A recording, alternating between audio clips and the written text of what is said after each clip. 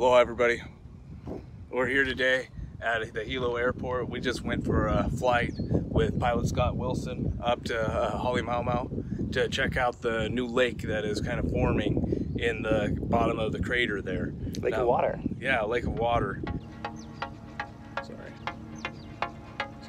The whole situation up there is incredible just with the uh, massive changes in the last year going from lava lake to the giant collapses and eruption in the 2018 eruption in the lower east rift zone now to the uh, water appearing in the bottom of the crater.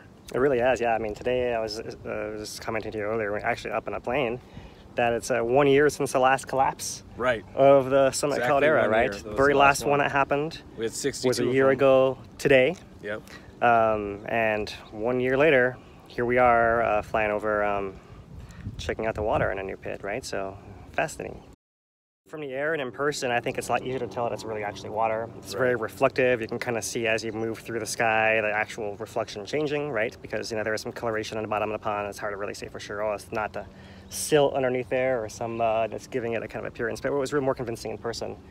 And it's really hard to get video because the actual pit of water is so small compared to how high you need to be in the air to, to fly right. over there, right? We're for essentially you gotta have the zoom feet. in uh, on the cameras to be able to get any kind of. But now it's at the point where you can actually see it with the naked eye.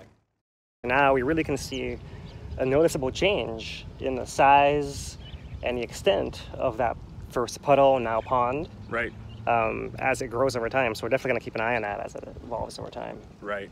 The USGS photograph released yesterday um, from where they actually found a spot on the ground to go and actually see this thing. They saw a spot that was steaming behind the main pond when they speculated that it was probably water trying to come in. Right. And it was so hot that it was steaming first.